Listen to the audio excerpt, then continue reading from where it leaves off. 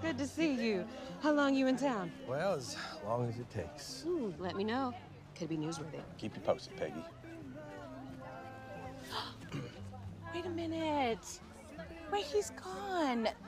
Who? Oh, he's probably 800 years old by now, and he made those lotions and those lip balms, and his booth was always right next to the Sentinel. Oh yes, I do remember because it was, it was like kissing ripe fruit. Mm. I think we lost Annie. Let's find Annie. No, she's uh, over there talking to the Lewis boy. See? Oh, I may need to have a talk with her. She reminds me a little too much of me at that age. Nothing wrong with that. Hey, Annie's dad. Hey, farmer. Come on over. I've got something you might like. I already got what I like. Thanks. Well, your stuff might be out of date. See, this is fresh jam.